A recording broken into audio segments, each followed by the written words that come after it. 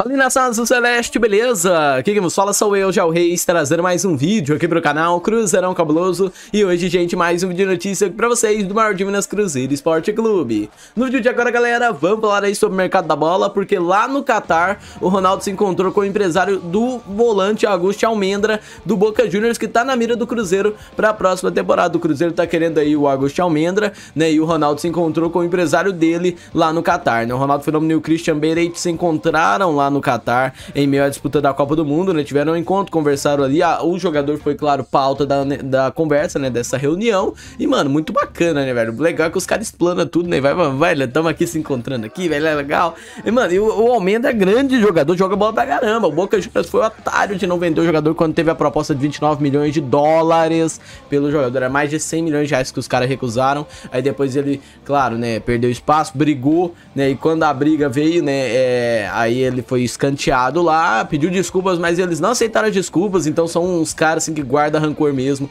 infelizmente. Galera, antes de continuarmos aqui, não, eu não sei se é infelizmente pra eles, mas pra nós é felizmente, né?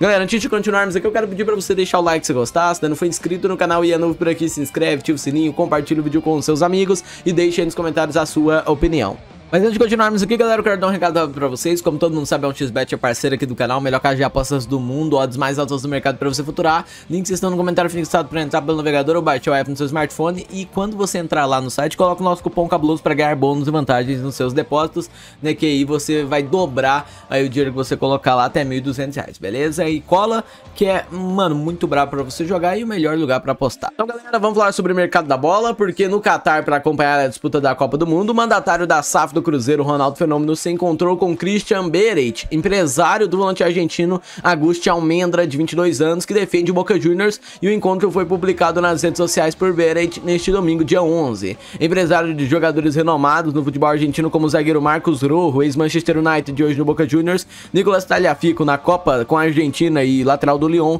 e Jeronimo Rulli também na Copa e goleiro do Vidia Real, Bereit se reuniu com o fenômeno após a Raposa ter formalizado uma proposta pelo atleta. A intenção do Cruzeiro é que Almendra assine um pré-contrato com o Clube Celeste, já que o vínculo com os chineses se encerra no dia 30 de junho. Na última quarta-feira, dia 7, uma foto publicada nas redes sociais gerou grande alvoroço, já que o diretor de futebol Celeste, Pedro Martins, e o chefe de scout do Cruzeiro, Marcos Menezes, se encontraram com o empresário uruguaio Marco Vanzini. Vanzini trabalha em parceria com a ICM Estelar Esportes Uruguai e Paraguai, empresa que agencia a carreira do volante argentino, e Augusto Almendra, que tem como diretor Christian Bereit, né? É, e assim, galera, a gente sabe que é um jogador ali muito bom, é um cara ali que sabe jogar bola, é um cara ali craque, né? O Almendra é uma das promessas do futebol argentino e, pô, o cara não esquece de jogar bola, até porque, pô, ele é profissional e fica treinando todo dia, por mais que ele não jogue, né?